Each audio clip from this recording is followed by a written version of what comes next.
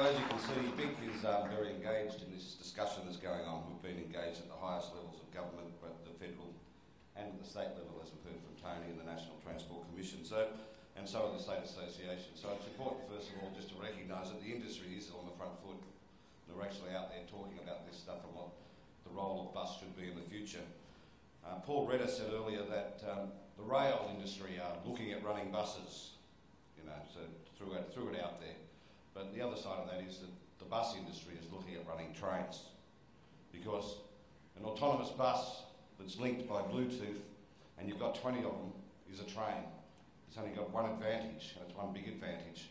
It can decouple and go off the infrastructure and deliver people directly to where they want to come. So let's not get too frightened about actually where bus is going to be, be because the opportunities, if we're thinking seriously about autonomous vehicles, is how they're actually linked together and how we get the most efficiency out of our existing infrastructure, which could mean that our rail corridors are a thing of the past the, when we look down the track, and perhaps when we look at light rail, we're building already an obsolete um, mode because of the nature of its fixed infrastructure. But I'll come back to that. One of the important things about this discussion is to actually come back to a lot of the research that the BIC has been undertaking over the past decade uh, Uh, under the leadership of Professor John Stanley, who heads our research committee and is the primary author of all of our research. And what that, that's been about is actually in the context of where we're heading as a nation and where we're heading in the context of our cities, what are the keys? What, what do we need to do? And, that's, and what we've identified in all of that research is that we need to make sure that our planning, our land use, and our integrated transport are actually driving the key outcomes that we want from our land transport network. And those are key outcomes are simple.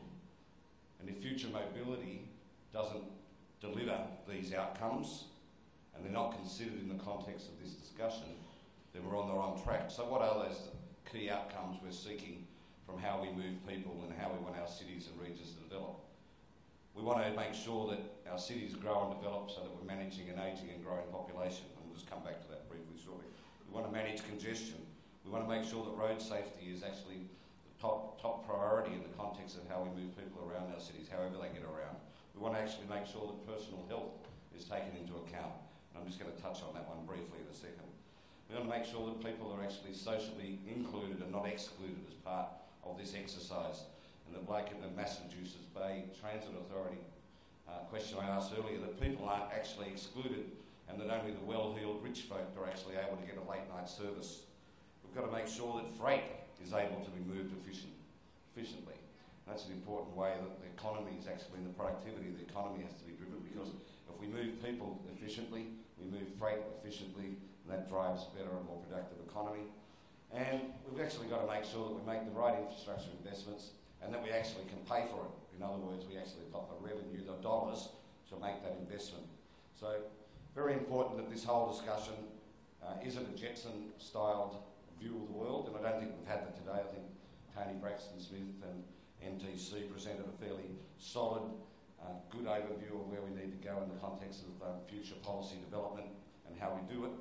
But let's make sure that we keep it in that context because one of the things that's a reality in some of the discussion out there is that autonomous vehicles and technology are some form of magic pudding going to solve the ills of the world and everything will be perfect. Well, I don't think it always works out that way, and there's a lot of challenges, and hence I believe the long time frame that we're talking about and where we're heading, which is out in 2030, 2040, 2050, because to get it right is going to actually take some um, serious, serious work. But the problem with new technology and new vehicles and all this fun stuff is that politicians get very excited, very excited. They can't wait to stand in front and announce it. Now, I'm not saying that the minister that I'm just about to put up on the board is excited. I think he's got a vision. I think it's fantastic. But what the industry needs to do is make sure that we keep on top of it and make sure that politicians don't start running an agenda that we can't keep pace with. And that's part of the problem that happened with Uber. They got ahead of the game, government wasn't ready, taxi industry wasn't ready, and the ball game was over before we got there. Now, whether we get the right outcome out of Uber and the taxi industry is another question altogether. But let's have a look at that video from a, a, news item last week, which I think puts this into some reality and scope of where it City buses and trains, two of the first things that come to mind are timetables and drivers. Well, now we're being told both are headed for extinction and soon. From next year, commuters will be able to simply order a bus on their smartphone. Daniel Sutton explains. Late trains, late buses. For years, timetable woes have plagued every transport minister. The system is letting us down. Processes do break down. I don't think there is a quick fix. But Andrew Constance thinks he's found one. I want to do away with timetables. Instead, he wants a system similar to this one, kicking off in the US, where commuters order a bus on their smartphone. An app groups requests together, then dispatches a vehicle on a custom route. Uh, if we have on-demand movies, we should have on-demand transport. The minister wants a private operator to run a trial here next year. If it works, timetables will go under the bus. Sydney's new metro will also be timetable free when it opens. Timetables regulate services and often deliver poor services as a consequence. Yep, I believe we should get rid of them. Experts believe existing train stations are a logical place for on-demand buses to start. Services which could pick up a group of commuters who live in the local area and bring them to and from the station, eliminating the need to build car parks here.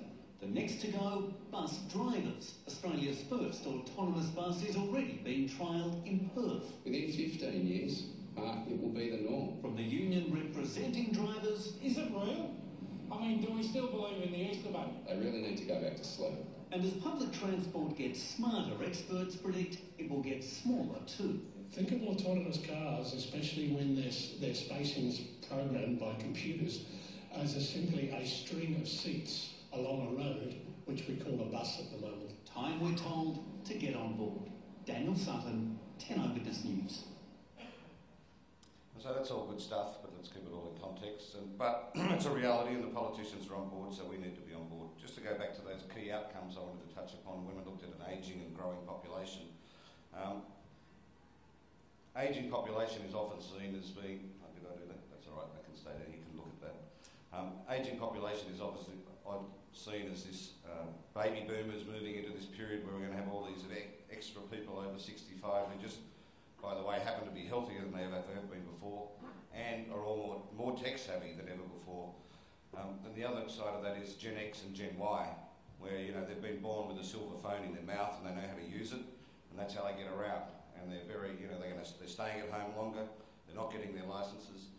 Having a car isn't an ambition to go and buy a car as quickly as possible, and they're good at using PT and other services. My view is there isn't a generational difference. I think the older, the boomers are actually a little bit slower, but they're actually going to be right there and have a, a greater demand for on-demand type services rather than owning their cars. So interesting when we look at ageing and growing population. The other one is health. If we end up with um, autonomous vehicles picking everyone up from door to door, then what happens to personal health? We know that currently people that catch mass transit or public transport get a, transit get about 41 minutes of incidental exercise a day just by walking to and from the bus stop or the train station to and from the office. If they drive, currently they get about eight minutes. Now, if we're going to stop all exercise or we don't take that into account about what the impacts on the health, the health budget is, maybe there are consequences there. So they're the kind of discussions that BIC's involved in at a very broad level, just to give you a, an idea. This uh, really just tries to sum up where we're at, and all of that stuff on there is connect, talking about customer demand and the types of transport services. The reality is the Ubers and the Lyfts and the Bridjs of the world aren't actually transport companies necessarily. They're actually technology people who are connecting the passenger with the, the vehicle provider. So there's no reason why any of this stuff is beyond the scope of a bus operator to move into. It doesn't have to be a 12-seater bus that's got a Bridj sign on it. It could be any of your, your businesses doing something extra that value adds to your existing government contracts, whatever they might be in the future. So what is the future intersection between ride sourcing, autonomous vehicles and public transport? I think it's probably pretty clear that trunk services and mass transit are going to continue to be a, a core focus and priority and those core spines, whether it's heavy rail or bus rapid transit or dedicated um, roadways, are going to continue to be a core focus to move lots of people quickly. The first and last mile is an interesting concept, which is where there's some scope for, uh, where Uber and others think there's some scope for them to move into a space that's currently probably delivered through um, bus feeder services.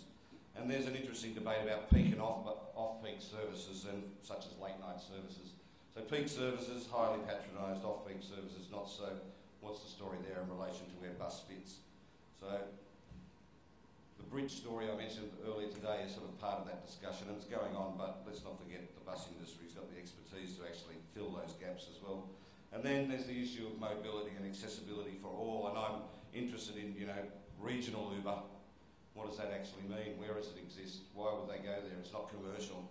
And this commercially driven services is fine for cities where the densities drive a passenger outcome, but when you get to regional, rural or remote areas, how's that going to work and what kind of initiatives can the industry look at to feed into that? And obviously I mentioned before, the whole the whole social basis of providing public transport all revolves around minimum service levels and community service obligations that governments a long time adopted to make sure that people weren't being left behind. The mass transit is different from the social transit. Both of them have the minimum service levels because they're trying to deliver different outcomes. Mass transit might be more focused on congestion, social transit more on social inclusion, but those kind of basis that drive the policy outcomes for transport provision are going to be the key drivers for future mobility. And I don't think, and I think that was recognised today as well. So as you see the question, how does this all work to achieve what we want to do?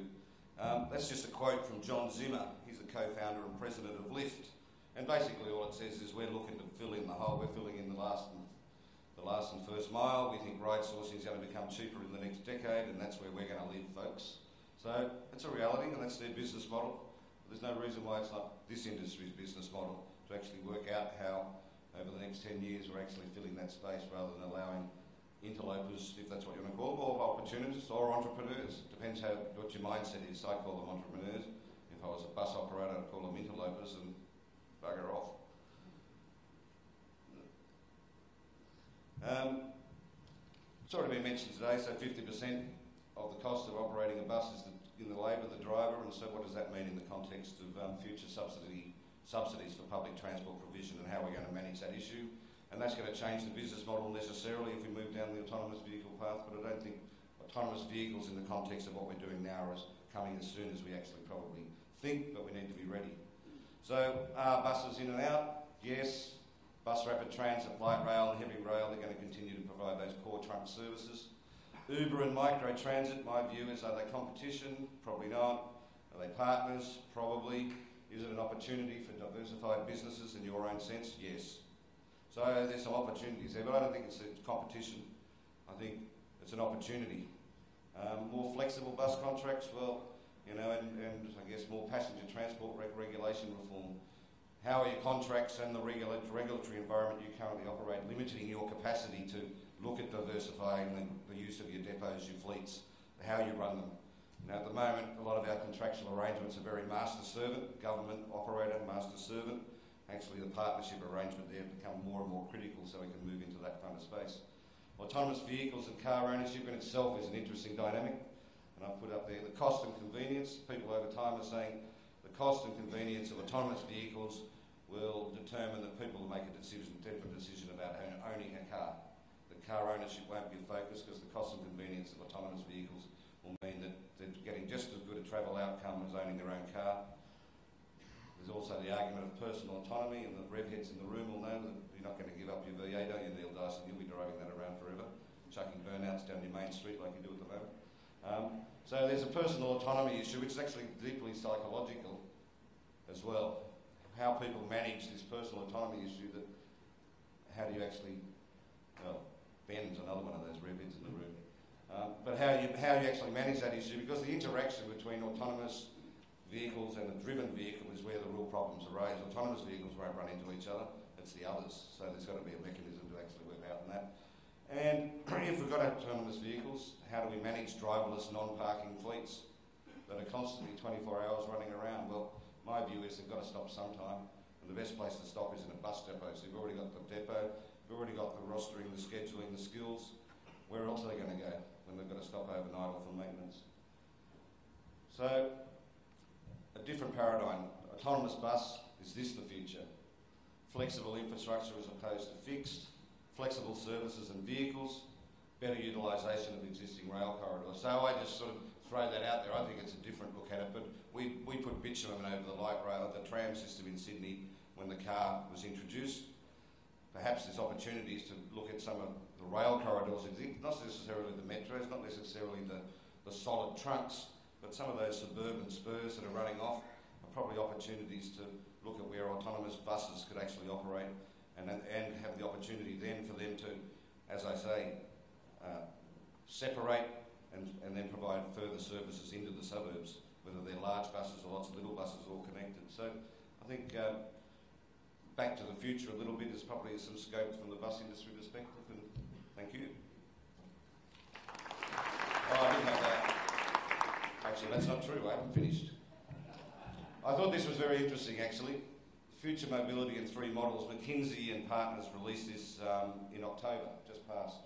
They basically came up and said there's three sort of models that exist currently for mobility. You've got countries like Amsterdam, Singapore, Stockholm, only a small, but they've already got in place effective mobility, efficient public transport, encourage cycling and walking and managing congestion and pollution and puts right, quite strong restrictions on uh, car use in built-up areas. So they're saying by 2030, those kind of countries are probably ready to move into sort of an advanced transport uh, model. There's uh, private autonomy, which is where development and commuting patterns have increased sprawl significantly. So, you know, places like Los Angeles, where you've got long distance, even though their public transport patronage is on the increase, they still have the challenges of, you know, having a car as being essential because of the distances and so likely to remain the case for a while, but a bit of a longer time frame.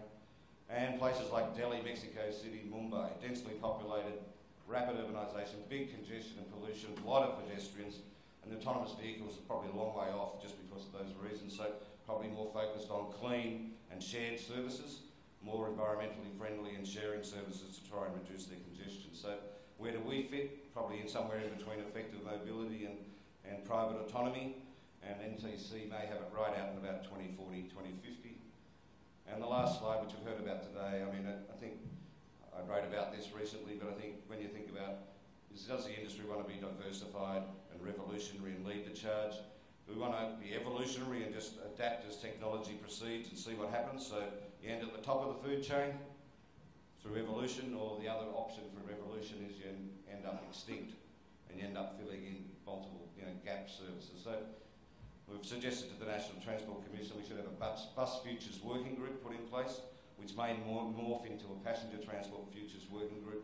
We actually get some operators and, and executive directors around a table with government and look at what the restrictions currently are within contractual arrangements and regulation and legislation to free up your opportunity to be a lot more entrepreneurial. Now I'm finished.